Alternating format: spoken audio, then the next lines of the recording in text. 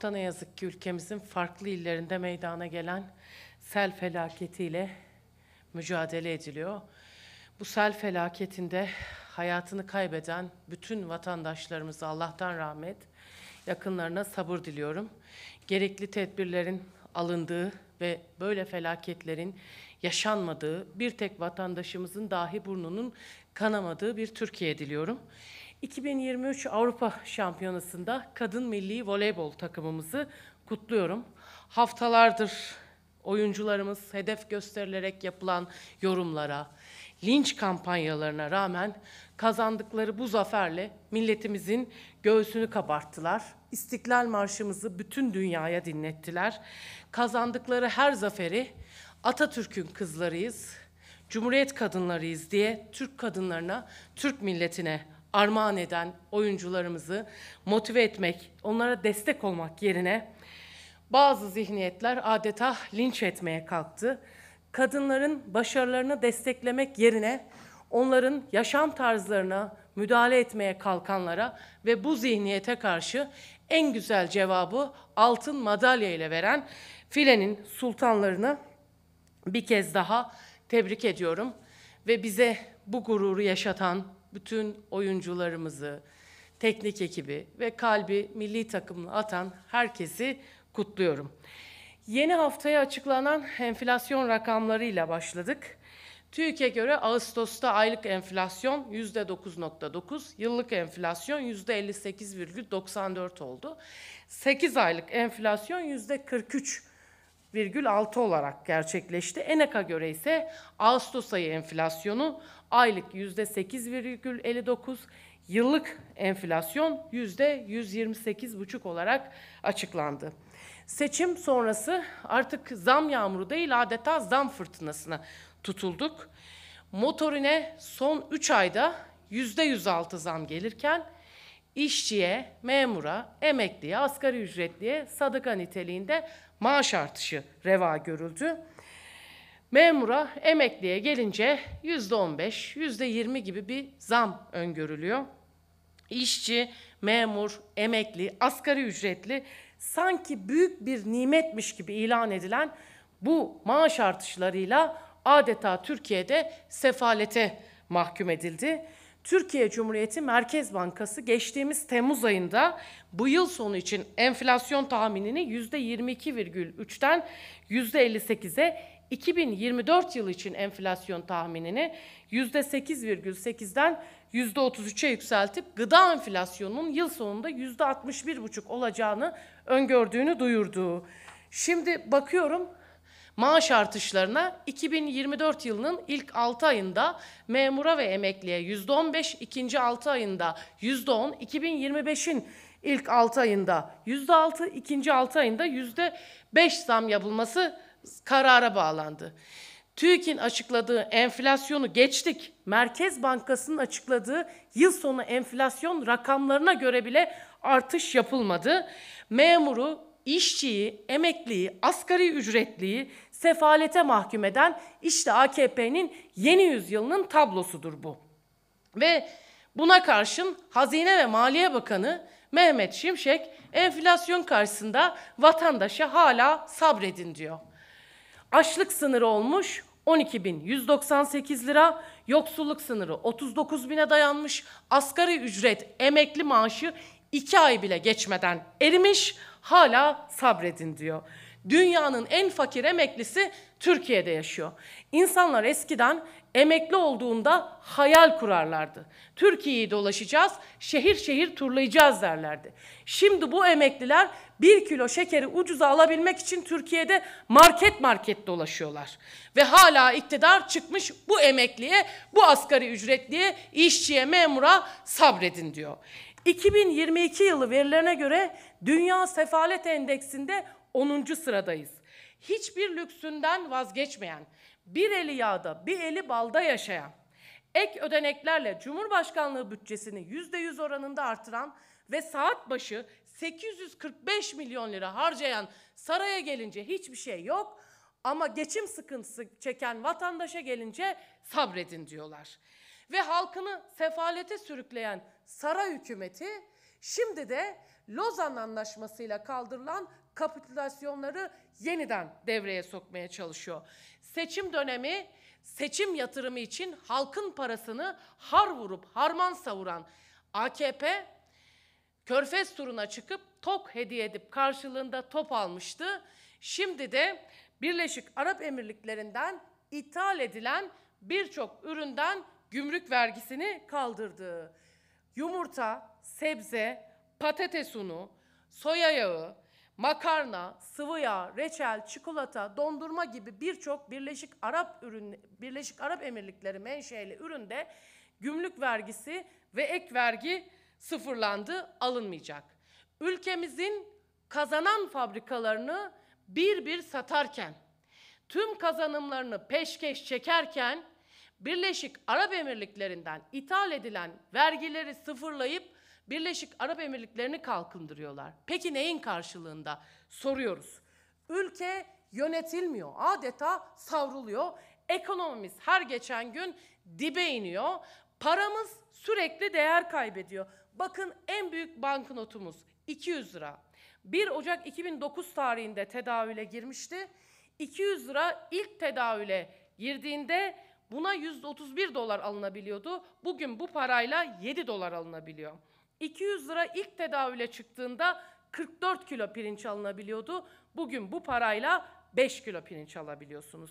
200 lira ilk tedavüle çıktığında 14 kilo kuzu eti alınabiliyordu. Bugün bu parayla 600 gram kuzu eti alabiliyorsunuz.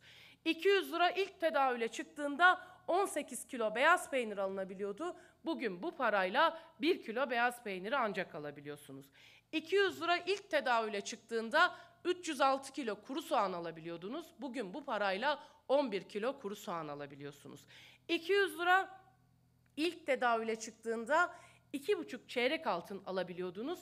Bugün bu parayla çeyrek altın alabilmeniz için üstüne yaklaşık bir 6800 lira civarında bir rakam eklemeniz gerekiyor. Peki Erdoğan ne diyordu? 1 Mart 2012 tarihli tweetinde para tıpkı bayrak gibi, tıpkı milli marş gibi bir ülkenin gücünü, itibarını, bağımsızlığını simgeler. Paranın itibarı milletin itibarıdır. Şimdi soruyoruz Erdoğan'a. Türk lirasının itibarı nerede? Ekonomik buhran herkesi sefalete sürükledi. Ama bu ekonomik buhrandan etkilenmeyen birisi var. Saray ve efradı. 6 Şubat depreminde bile milyonlarca lira bağış topladılar. Dönemin Merkez Bankası Başkanı'nın bile canlı yayında telefonla bağlanıp 30 milyar lira bağışlıyorum dediği programda sözü verilen 115 milyar lira buhar oldu. Bu paranın hesabını veremeyen şahsım hükümeti Hatay'daki temel atma töreninde Genel Başkanımız Sayın Kemal Kılıçdaroğlu'na sataşarak depremzedelere bedava ev sözü verenler Hatay'ın yolunu unuttu diyor. Ya biz sarayın halktan kopuk olduğunu biliyorduk da bu kadarını biz bile tahmin etmiyorduk. Hadi Cumhurbaşkanı bilmiyor, yanındakilerden bilmiyor, bölgedeki AKP vekilleri de bilmiyor. 15-16 Ağustos 2023 tarihlerinde ben Kadın Kolları Genel Başkanımız ve milletvekillerimizle beraber biz iki gün boyunca Hatay'daydık. Konteynerlarda, çadırlarda kalan depremzedeleri, sivil toplum örgütlerini ziyaret ettik. Orada kalan bütün vatandaşlarla görüşmeye çalıştık. Konteynerlarda, çadır kentlerde, derme, derme çatma barakalarda insanlar yaşam savaşı veriyor. Hatay'da hala barınma sorunu çözülmemiş. Eğitim öğretimle ilgili büyük sıkıntılar var. Önümüzdeki hafta okullar açılacak ama hala belirsizlik sürüyor. Sağlık ihtiyaçları konusunda büyük bir yetersizlik var. Hemşire, sağlık personeli, doktor ihtiyacı var. Hatay'da çadır kentlerde Konteyner kentlerde kalan vatandaşlar sosyal yardım alamadıklarından, geçiremediklerinden şikayet ediyorlar. Günde bir öğün yemek alabiliyorsanız ne ala diyorlar. Ve Defne'deki bir çadır kentte, konteyner kentin az ilerisinde bir yemek kuyruğuna rastladık. Oradaki depremzedeler yaklaşık bir buçuk iki saat akşam yemeği alabilmek için kuyrukta beklediklerinden şanslı olanlar alabildiklerini, bazıları o kuyrukta beklemelerine rağmen kart bittiği için içeriye girip yemek alamadıklarını söylediler. Bütün basın yayın aracılığıyla orada yaşanan dramı, orada yaşanan vatandaşların çektikleri çileyi aktarmaya çalıştık ve hatırlarsanız Hatay valisi bile apar topar bir açıklama yapıp Hatay'da her şeyin yolunda olduğunu, bir sıkıntı olmadığını iddia etmişti. Şimdi deprem paraları nerede diye sorduğumuzda mecliste hayır oyu verenler CHP nerede diyor. Biz Hatay'daydık. Kaderine terk ettiğiniz, sağlıkçısından öğrencisine bir yardım eli uzatmadığınız Hataylı depremzedelerin yanındaydık. Halkın yanındayız. Ayıptır ya. Eksikleri, yanlışları, sorunları söylüyoruz. Bunları çözün diyoruz. Sanayi ve Ticaret Odası'ndan tutun Tabipler Odası'na kadar birçok sivil toplum örgütüyle görüştük. Bunların hepsinin bize verdiği raporu basına, kamuoyuna yansıttık. Tabii vatandaşın çığlığına kulaklarını tıkayanlar depremzedeler için bir adım atmak yerine arkasını dönüp zevki sefa içinde yaşamaya devam ediyorlar. Ondan sonra da çıkıp utanmadan CHP nerede diye soruyorlar. Çıkın saraylarınızdan, kafanızı bir dışarı çıkarın. Vatandaşın yaşadıklarına, depremzedelerin sorunlarına biraz eğilin. Ya da ekiplerinizi gönderin. En azından sahadan size doğru dürüst raporlar versin. Çevre, Şehircilik ve İklim Bakanlığı'na bağlı TOKİ'nin deprem konutları ihaleleri Haziran ayında bir anda durdu. Şimdi ihalelerdeki hız pes dedirtmişti. İhale hızına yapım hızı yetişemedi. TOKİ'ye arkadaşlarımızın soruları oldu. İhaleler ne oldu diye. Dediler ki bakanlık üzerinden cevap verebiliriz. Bunun üzerine önergeler yolladık. İhaleler neden durdu? barınma ihtiyacına yetişildi mi? Kaç ihalenin yapımı tamamlandı? Kaç ev teslim edildi ya da yakında kaç ev teslim edilecek diye. Ama hala cevap yok. Cevap geldiğinde bunu da kamuoyuyla paylaşacağız.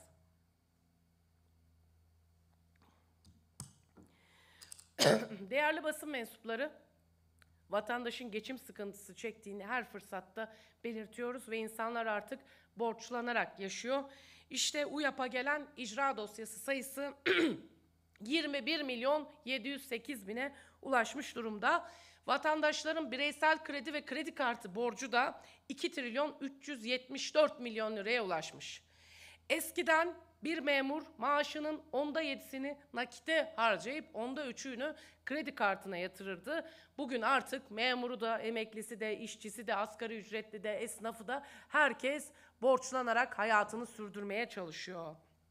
Tabii iktidarın beceriksizlikleri her kesimi vurduğu gibi üniversite öğrencilerini de vurmuş durumda. Kötü yönetimden onlar da payını aldı. Üniversite sınav sonuçları, yerleştirme sonuçları açıklandı ve onların açıklanmasıyla birlikte öğrencilerinin en temel sorunlarından biri olan barınma sorunu yine karşımıza çıktı. Buna karşılık da iktidar tarafından hiçbir hamle yapılmadı. Kollarını dahi kıpırdatma gereksinimi hissetmiyorlar e, okulların açılışını, üniversitelerin açılışını 2 Ekim tarihine bıraktılar. Çünkü yurtlarda hala deprem zedeler kalıyor. Ama soraya sorsanız kimse aç değil, açıkta değil, her şey yolunda. Vatandaşa sabredin demekten başka bir şey yapmıyor.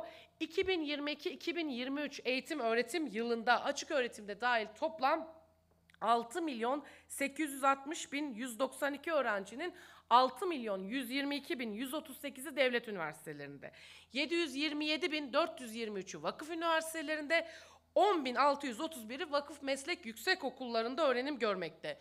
Peki buna karşılık yurt durumu nasıl? Bakanlığa bağlı 808 yurtkur var e, yurtkura bağlı yurt var. Bu yurtların 874.693 kapasitesi bulunmakta. Yani yüksek öğretimde bulunan öğrencilerin yaklaşık %21.7'si devletin kendilerine sunmuş olduğu barınma imkanından yararlanabilmekte. Bu rakam son derece düşük bir rakam. Öğrencilerin barınma ihtiyacını karşılamaktan uzak bir rakam. Peki, peki iktidarın öğrencilerin barınma ihtiyacına karşılık e, çözümü ne? İşte plansızlık, öngörüsüzlük burada karşımıza çıkıyor. Bakın barınma sorununu nasıl çözüyorlar? Mesela Kahramanmaraş Sütçü İmam Üniversitesi'nde okuyup yurt bekleyen öğrencileri AKP Genel Başkanı Recep Tayyip Erdoğan'ın oğlu Bilal Erdoğan'ın başkanı olduğu Dünya Etnospor Konfederasyonu'nun obasına yönlendiriyorlar. Yıl olmuş 2023. Üniversite öğrencilerinin barınma sorununu saray obayla çözmeye çalışıyor. Ve kamu kaynaklarını başka yerlere oluk oluk akıtanlar öğrencileri çadırlarda, obalarda barınmaya mahkum ediyorlar.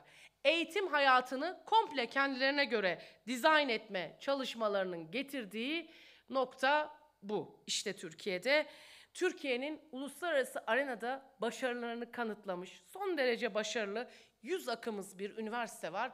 Boğaziçi Üniversitesi. Hatırlarsanız 2 Ocak 2021'de Rektör olarak Melih Bulu atanmıştı. Halk ayaklandı. Akademisyenler, öğrenciler tepki gösterince onun yerine rektör olarak Naci İnci atandı. Naci İnci'nin rektör olarak atanmasına karşılık akademisyenler her gün 15 dakika rektörlük binasının arkasında sırtlarını dönerek bir protesto yapıyorlar kendilerince. Neymiş efendim? Boğaziçi'li akademisyenlerin bu protestosu üniversitenin işleyişini bozuyor gerekçesiyle bu akademisyenlerle ilgili soruşturma başlatılmış. Ben size üniversitenin işleyişinin nasıl bozulduğunu anlatayım. Bugün YKS 833'üsü Boğaziçi Üniversitesi'ne giremedi. Neden? Yabancı öğrencilere kontenjan ayrıldığı için. Ne oluyor? Yok bir karar, bir yönetmelik çıkartıyor. Ek kontenjan çıkartıyor. Yabancı öğrenciler Türkçe dahi bilmelerine gerek kalmaksızın bu YÖS denilen çok basit bir sınavla, yabancı öğrencilere uygulanan bir sınavla Türkiye'deki devlet üniversitelerine yerleşebiliyorlar. Onlar Türk öğrenciler gibi 3,5 milyonluk bir YKS sınavında yarışmıyorlar. YÖS'ün 2023 sonuçları açıklandı. 2023-2024 yabancı öğrenci ücretleri de açıklandı. Ücretler son derece düşük. Mesela Karabük Üniversitesi'nde tıp için 125 bin, diş hekimliği için 90 bin, e, bilgisayar mühendisliği için 35 bin, öğretmenlik için 12 bin gibi rakamlar konuşuluyor. ODTÜ, Boğaziçi, Çapa Tıp, Cerrahpaşa Tıp, 9 Eylül Tıp, Ege Tıp gibi birçok devlet üniversitesinde öğrenciler tabiri caizse yabancı öğrenciler sudan ucuz fiyatlarla e, eğitim öğretim görüyorlar. Döviz karşısında her gün eriyen Türk lirası bazında ücretlerini ödüyorlar. Ücretler meslek yüksek okullarında 8 bin liradan başlıyor ve üniversitenin o 4 yıllık bölümüne göre 208 bin liraya kadar değişiyor. Bu da bir yıl içerisinde iki taksitle ödenebiliyor. Yani bu yabancı öğrenciler ülkelerinde anaokullarından bile daha ülkelerindeki anaokullarından bile daha ucuza Türkiye'deki devlet üniversitelerinde öğrenim görüyorlar. Şimdi 301.694 yabancı öğrenci var Türkiye'de. 58 binle Suriyeliler birinci sırada, 34 binle Azerbaycan, 22 bin İran, 18 bin Türkmenistan, 16 bin Irak, 10 bin Somali uyruklu öğrenci var. Sıralanıp gidiyor sırasıyla. Uluslararası bir e, öğrenci gittiği ülkeye yıllık en az 40 bin dolar kazandırması gerekiyor. Böyle bir para bırakması gerekiyor. Vakıf üniversiteleri 5 bin, 5 bin ila 30 bin dolar arasında bir para alırken devlet üniversiteleri bu yabancı öğrencileri adeta bedavaya okutuyor. Mesela Gaziantep Tıp 208 bin, 9 Eylül Tıp 100 bin, Çapa Tıp 150 bin, işte diş hekimliği 60 bin, 80 bin, hukuk, işletme, iktisat 11-12 bin, mimarlık 15-20 bin, eczacılık 30 bin, 70 bin arasında rakamlarla okunuyor. Ve YÖS sınavında 30 puanı tutturan bu yabancı öğrenciler bu üniversitelere bu kadar düşük ücretlerle yerleşebiliyor. Şimdi Ayrıca ailesi ve kendisi Türkiye'de ikamet izni alanlara da ayrıca bir yüzde 25 indirim uygulanıyor. Bundan da en çok Suriyeliler yararlanmış oluyor. Hiç olmazsa ülkemizdeki bu 301 bin yabancı öğrenciden Avrupa Birliği ortalaması olan yıllık 40 bin dolar alınmış olsaydı bugün hazineye 325 milyar lira gelir kaydedilmiş olacaktı. Ama bu konuda da iktidarın beceriksizliği ortada. İktidar ne yapıyor? Tıpkı Boğaziçi Üniversitesi'nde olduğu gibi başarılı olan her şeyi yakıp yıkmakla meşgul. Tabii yıkım sadece üniversitelerle kalmıyor. Ee, eğitim öğretimde de çok büyük yıkımlar var. Yani ilk ve orta dereceli okullarda.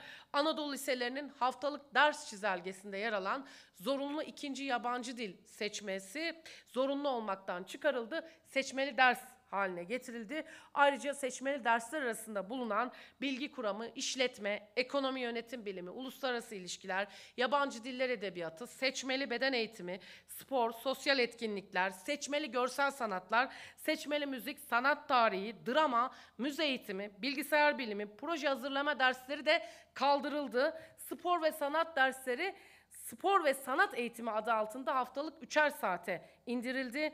Anadolu liseleri seçmeli dersleri arasında düşünme eğitimi, sürdürülebilir tarım ve gıda güvenliği, iklim, çevre ve yenilikçi çözümler, temel hukuk bilgisi, metin tahlilleri, Kur'an-ı Kerim'in anlam dünyası, Türk düşünce tarihi, klasik ahlak metinleri, adab-ı muaşeret, Türk sosyal hayatında aile dersleri eklendi. Ortaokul ders çizelgesinde seçmeli bölümde bulunan bilişim teknolojileri ve yazılım, drama, zeka oyunları, satranç, halk kültürü, düşünme eğitimi, görsel sanatlar gibi dersler kaldırıldı. Üstelik tüm bu değişiklikler okulların açılmasına sadece bir hafta kala yapıldı. Şimdi bu okullara eklenen yeni derslere girecek öğretmen de bulunamayacak. Zaten eğitim öğretim dönemi 11 Eylül'de başlayacak ama büyük sıkıntılarla başlayacak. Birçok eksikle okullar açılacak.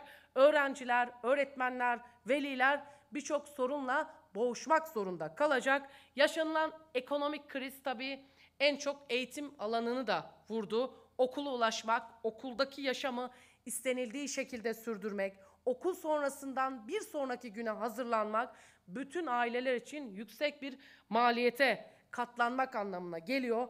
Çocuklar ister özel okullarda okusun, ister devlet okulunda okusun. Gerçekten ailelerin, velilerin e, bu bütçeyi kaldırmaları çok zor. Onları zor günler bekliyor.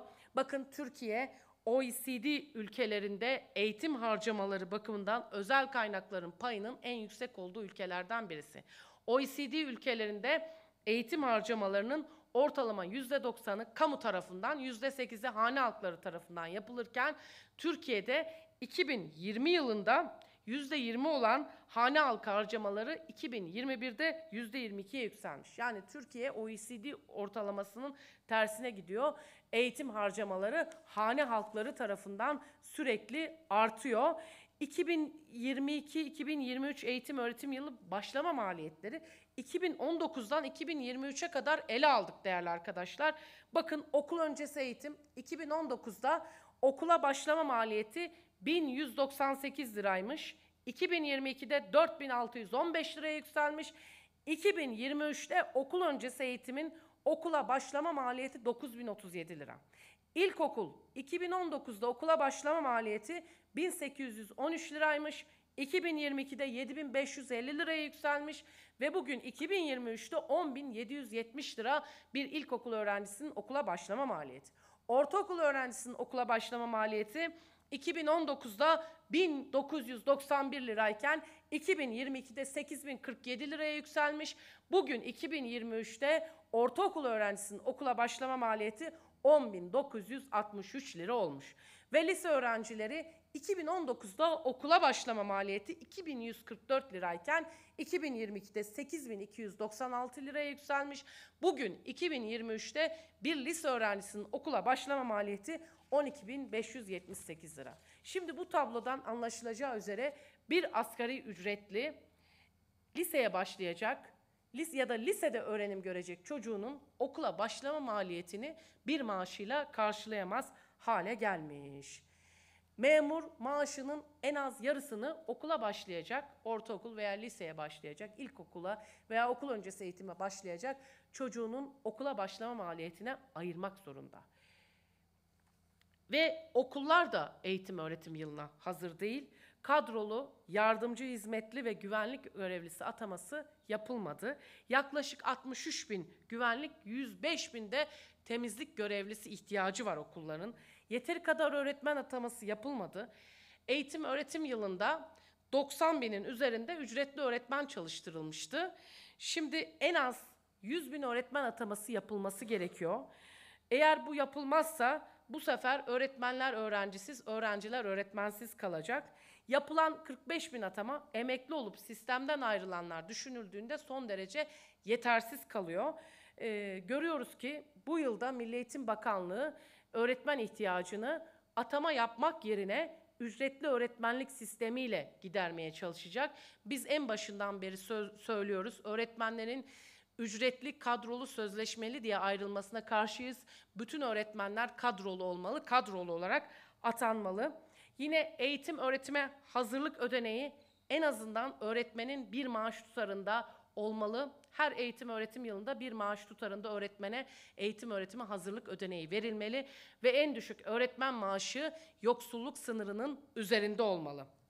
Ve okul bütçeleri oluşturulmalı. Okul bütçeleri oluşturulmadığı takdirde okulların ihtiyaçlarını karşılayabilmesi mümkün değil ve okullara her eğitim öğretim yılında öğrenci başına en az 500 lira bütçe gönderilmesi gerekiyor. Milli Eğitim'in bütçesi 435 milyar lira. Eğer bütün okullara öğrenci başına 500 lira gönderilirse bu bütçenin sadece 1.72'si kullanılmış olacak. E, bu da son derece az bir rakam Milli Eğitim'e ayrılan bütçede. En azından öğrenci başına bu 500 liranın muhakkak okullara gönderilmesi gerekiyor. E, ilk ve ortaokullara kısmen bu yıl bütçe ayrıldı ama çok az. Mesela 1000 öğrencisi olan bir okula 4500 lira gönderilmiş. Bu 4500 lirayla o okulun ihtiyaçları karşılayamayacağı ortada. 1000 öğrencisi olan bir okulda en az 5-6 temizlik personeli çalışmak zorunda. E, bu 6 temizlik personelinin maliyeti 80 bin lira olacak. Bu gönderilen 4500 lirayla temizlik personelinin bile maliyetinin karşılanmayacağı ortada. Merkezi bütçeden kaynak aktarılan okulların e, temizlenmesi dahi bu parayla mümkün değil. Yaşanan hayat pahalılığı öğrencilerin kullandıkları kırtasiye malzemelerini de vurdu. Müthiş bir artış var. İğneden ipliğe her şeye zam gelirken tabii eğitim, öğretim araç ve gereçleri de zamlandı. Dolayısıyla bir asgari ücretlinin bir aylık maaşını, memurun maaşının büyük bir bölümünü işte bu araç ve gereçlere, kırtasiye malzemelerine ayıracağını görüyoruz. E, ve okul masrafı e, maalesef velilerin bütçesini sarsacak durumda. Anayasamızın 42. maddesi der ki temel eğitim tüm vatandaşlarımıza eşit ve parasız olmalı. Şimdi bu koşullarda çocuklarımızın eğitim almalarını sağlamak çok zor. Dolayısıyla e, velilerin eğitim harcamaları bize gösteriyor ki devlet okullarında bu sağlanamıyor. Bir an önce anayasa gereği çocuklarımızın temel eğitimden eşit ve parasız olarak sağlanması, velilerin üzerindeki bu yükün alınması gerekiyor. Tabii bir Milli Eğitim Bakanı var. Bu eğitim öğretim sıkıntılarını çözmekten çok uzak. Ne yapıyor? Karma eğitimi hedef alıyor. Hatırlarsanız geçen ay kız çocuklarının okula gönderilmemesi e, argümanı olarak erkeklerle aynı okulda okumak istememelerini ailenin e, belirtmişti. Böyle bir e, bahaneyle karma eğitimi hedef almıştı. Aslında niyet de belli, zihniyet de belli. Sekülerlikten uzak, bilimden uzak bir eğitim sistemi için çocuklarımızın yeteneklerini geliştirecekleri tüm dersleri kaldırarak kendi istedikleri kılıfı hazırlıyorlar. Bakan Bey karma eğitimi hedef almaya dursun. Hakkari'de 11 yaşındaki bir kız çocuğu maalesef 3 kişinin tecavüzüne uğruyor. Hastaneye götürülüyor. Burada tüm yaşadıklarını anlatıyor. Sanıklar tutuklanıyor ama 8 ay sonra salını veriyor. Ve bu kız çocuğumuz ne yazık ki canına kıydı. Siz çocukları karma eğitimden değil, şahsa göre şekillenen adalet anlayışından, suçluları koruyan zihniyetten koruyun. Artık çocuklarımızı kaybetmeyelim. 11 yaşında canına kıyan bu çocuğun vebali Milli Eğitim Bakanı'nın, Adalet Bakanı'nın ve Aile Bakanı'nın üzerindedir. Yıllardır sönmeyen bir ateş var. Adalet bekleyenler, canımızı yakan madımak ve kürsü başından herkese hedef göstermeye devam eden şahsım hükümeti bir kararname yayınlayıp Madımak katliamının hükümlüsü Hayrettin Gül'ün cezasını hastalık gerekçesiyle kaldırıyor.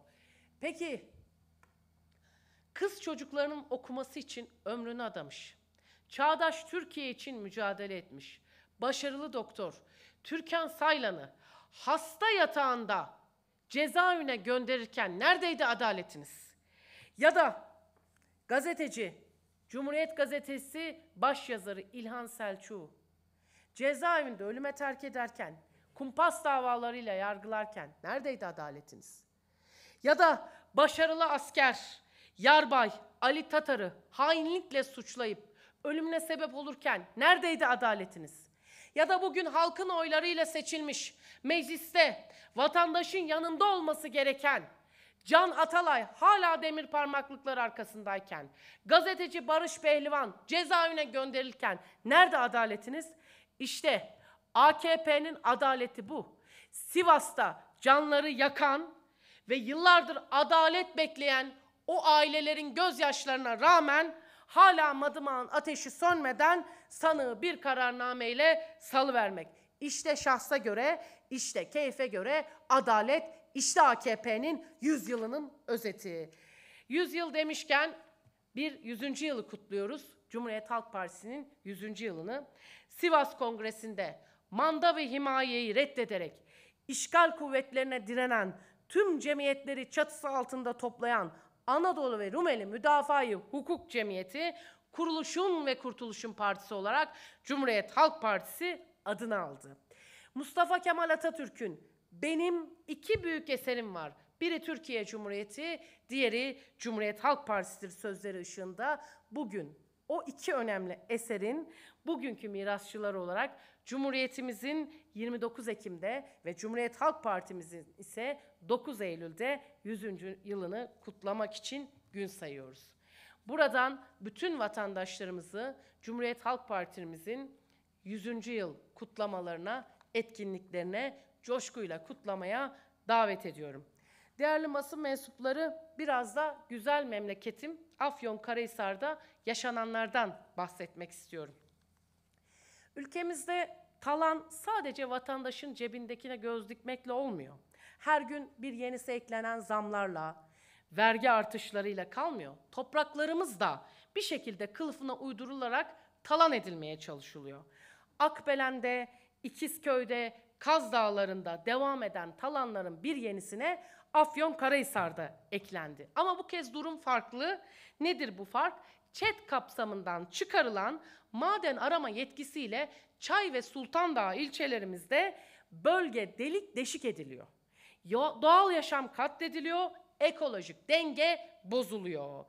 Bu arama faaliyetinin çevresel bilimsel etkilerinin değerlendirilmesi, halkın görüşünün alınması durumu bildiğiniz üzere ortadan kaldırıldı AKP tarafından. Peki sonra ne oldu? Bütün yabancı şirketler Türkiye'de maden araması için adeta akın akın geldiler. Şimdi bir, bir de kanun değişikliğiyle arama yapan şirkete diyelim bölgenin değerli olmadığına karar verildi. Bölgeyi tahribat içerisinde delik deşik edip bırakıp gitsin diye bunun da önü açıldı. Yani bir kanun ile dendi ki bu şirketlere gelin, yakın, yıkın, dağıtın, perişan edin, tahrip edin, katledin. Size kazanç getiriyorsa o madeni alın götürün. Ama kazanç getirmiyorsa öylece yaptığınız tahribatı bırakıp gidin dendi. Size soruyorum bunun cinayetten farkı ne? İşte şimdi Afyon Karahisar'da böyle bir cinayet işleniyor. 2018 yılında maden araması için ruhsat alan şirket kimseye sormadan, kimsenin fikrini almadan Sultan Dağları'ndaki 2000 hektarlık alanda bölge halkının, hemşerilerimizin tepkisine rağmen, itirazlarımıza rağmen sondaj çalışmalarına başladı. Ve tahribat her geçen gün daha çok büyüyor. O noktada bir Eber Gölümüz var. Bölgeye hayat veriyor. Çok önemli bir su kaynağı ve Eber Gölümüz tahrip ediliyor. Yakasinek, Deresinek ve Eber köylerimiz perişan hale getiriliyor. Bölgenin en yüksek zirvesi Sultan Dağları ve korkarım artık Sultan Dağları diye bir şey kalmayacak bu tahribattan sonra. Yöre halkına sormadan, bilgi verilmeden Eber Gölü'nü besleyen Eber Deresi'nin doğduğu bölgede sondaj çalışması başlatılıyor ve ÇED kapsamı dışında tutulan yaklaşık 20 bin dekarlık arazide 17 ayrı noktada sondaj yapılacağı söyleniyor. Yani el insaf ya. Şimdi köylüler dava açacak. Hemşerilerim dava açacak. Biz de bu sürecin sonuna kadar takipçisi olacağız. Bölge halkının sonuna kadar yanındayız. Bu mücadelede. Çünkü haklı bir mücadele bu. Bölge talan ediliyor, tahrip ediliyor. Doğal yaşam bozuluyor. Orada ender yetişen Türkiye'nin en güzel kirazlarından olan Tadik adıyla tescil edilmiş bir kirazımız var. Eber Gölü ve Sultan Dağları'nda o oluşan iklim sayesinde o kiraz o lezzete, o güzelliğe, o kaliteye sahip. Ve korkarım bu tahribattan sonra bölgede kirazcılık bitecek, meyvecilik bitecek, doğal hayat bitecek, tarım hayvancılık bitecek. Belki bölge halkı göç etmek zorunda kalacak. Çünkü çok büyük bir talan söz konusu. İklim krizinin tehlike boyutlarına ulaştığı bir dönemde su kaynakları hayati önem taşıyor. Su sıkıntısı zaten baş göstermeye başladı. Her gün barajlarda su bitti diye habire kırmızı puntolarla haber yapılıyor. E şimdi su kaynakları tahrip ediliyor. Niçin? Maden arama faaliyeti için. Soruyorum hangi maden ya da hangi taş içme suyundan, su kaynaklarından daha değerlidir ya? İnsan yaşamından daha değerlidir. Doğal yaşamdan, çevreden, doğadan daha değerlidir ya. Depremler sadece tektonik hareketlenmelerle olmuyor. Siz yer altındaki sistemi değiştirmeye kalktığınızda sondajla, patlamayla bu su kaynaklarının yerini değiştirdiğinizde de her türlü felaketin önünü açmış oluyorsunuz ki zaten bölgede geçen fay hatları var. Çok tehlikeli bir iş yapılıyor. Bir yandan doğa katlediliyor, bir yandan insan yaşamına, çevreye zarar veriliyor. Bir taraftan doğanın dengesi bozulmaya çalışılıyor ve bunlar için bir avuç maden için, bir avuç taş için yapılıyor. Soruyorum size, insan yaşamı, doğa, çevre taştan daha mı kıymetsiz? Ve diyelim bu 17 sondaj yapıldı. Hiçbir şey bulamadılar ya da çıkarılacak değerde bir taş bulamadılar. Bu şirket ne yapacak? Ondan sonra çekip gidecek. Fakat sonunda bu çalışmalardan bölgede en az 6 köy etkilenmiş olacak. Bu bölge aynı zamanda geyikleriyle de ün salmış bir yer. Bir takım ekolojik açıdan önemli e, bitkilerin yetiştiği, endemik bitki türlerinin yetiştiği bir yer. Bütün bunların hepsi bu çalışmanın sonunda zarar görecek. Bu yaşananlar adeta bir yerleşim yerine baskın yapıp, yakıp, yıkıp gitmek anlamına geliyor. Şirketin 25 Ekim 2025 yılına kadar ruhsatı var. Eğer 2025 yılına kadar bu iş durdurulmazsa Afyon, Karahisar, Sultan Dağları, Ege'nin bu yüksek zirveleri maalesef kaybedilecek. Onun için bu talana bir an önce dur denilmesi gerekiyor. Ben herkesi Afyon, Karahisarlı bütün siyasileri, bütün milletvekillerini, herkesi bu katliama dur demek için davet ediyorum. Gelin hep birlikte buna karşı duralım, mücadele edelim. Sultan Dağları'nı, Eber Gölü'nü, Çay, Sultan Dağı ilçelerimizi koruyalım. Bu talanın önüne geçelim. Zafer haftasını kutladık geçtiğimiz haftalarda ve Zafer haftasında yine Zafer Müzesi kapalıydı. 6 yıldır bir türlü restorasyonu bitirilemeyen Zafer Müzesi karşımızda adeta o günü anlatmak için duruyordu ama kapalıydı. 6 yıldır AKP restorasyon işini beceremedi. Eline, yüzüne, gözüne bulaştırdı. 2017 yılı Kasım ayında 700 gün içinde bitireceğiz dediler. 6 yıl geçti. Hala 6 yılda bir yol kat edemediler. Buradan tekrar sesleniyorum. Zafer Müzesi'ni bir an önce lütfen artık restorasyonunu bitirip halka açın. Çocuklarımıza, torunlarımıza biz o müzeyi gezdirmek istiyoruz. Başkomutanlık Meydan Muharebesi'nin planlarının yapıldığı, Kurtuluş Savaşımızın simgesi olan bir bina. Bu binayı daha fazla talan etmeyin. Daha fazla perişan hale getirmeyin. Bir an önce restorasyonu tamamlayın. Yapamayacaksanız bize bırakın. Büyükşehir belediyelerimiz vasıtasıyla restorasyonun nasıl yapılacağını size bir kez daha gösterelim. Ve yüksek hızlı tren. 10 yıldır yapımı yılan hikayesine dönen bir başka proje. 2013 yılında temelini atmışlardı. Hemşerilerime 2015 yılında açılacağı söylendi. 2018 yılında bitecek dendi. Yıl 2023. Hala da önce 2025 dediler. Baktılar yetiştiremeyecekler. Şimdi de bakan 2027 yılını işaret ediyor. Yüksek hızlı tren başlangıcında 4.3 milyar lira maliyet söylenmişti. 2002 yılında 2022 yılında 47.1 milyar lira maliyet açıklandı.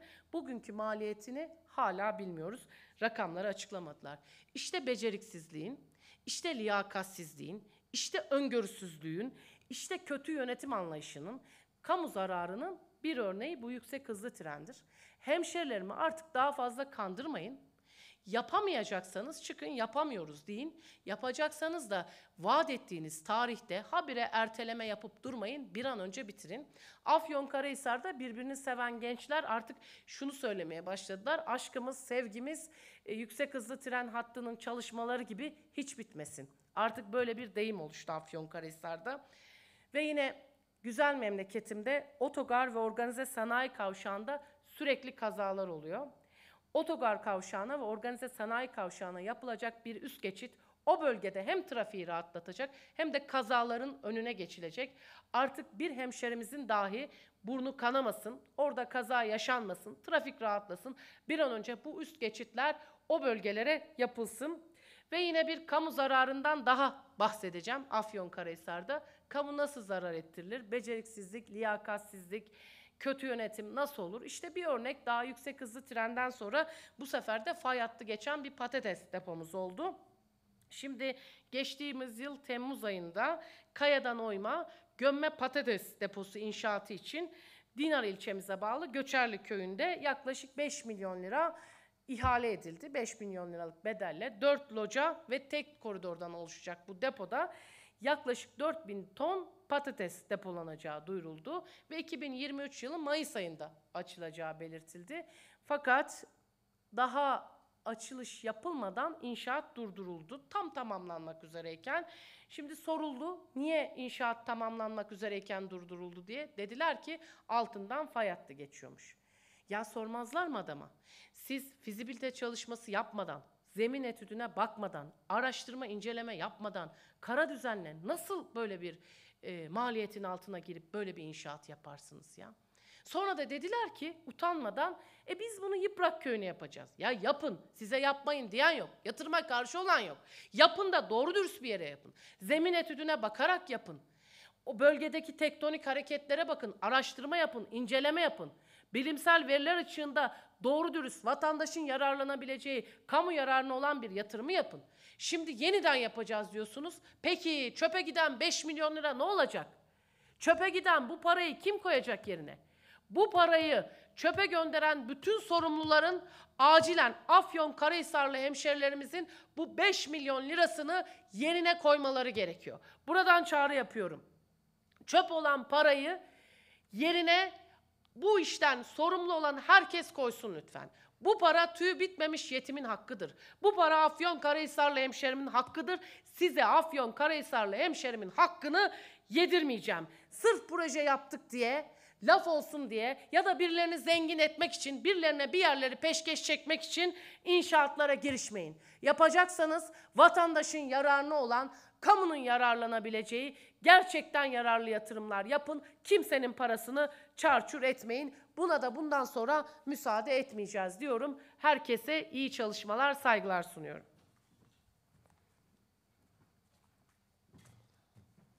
Biraz uzun oldu ama dün yapam. Dün dün yapamadığımız için e, genel evet. Yarın ya sabah Sayın Faik Öztürk e, yollar açık olsun dedi. Bu İYİ Parti'nin 81 ilde biz e, kendi adaylarımızı çıkaracağız açıklamasına. Yani, e, Sayın şeyde e, Dervişoğlu'da e, evet herkesin yolu açık olsun dedi. E, İYİ Parti kimse yol çizmesin, yol belirlemesin dedi. Siz değerlendirmeniz doğru.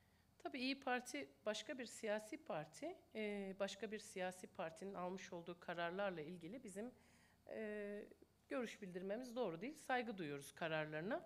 Biz Cumhuriyet Halk Partisi olarak gerekirse ittifakla, gerekirse tek başına bu seçimlere gireceğiz. Biz e, 7 ay sonra yapılacak yerel seçimler için gecemizi gündüzümüze katarak çalışmalara devam ediyoruz. 11 büyük şehri yeniden kazanacağız ve geçen sefer kazanamadığımız belediyeleri de yeniden Cumhuriyet Halk Partisi ile buluşturacağız. Derman belediyeciliği bütün Türkiye'ye e, götüreceğiz. Bunu söylemek istiyorum.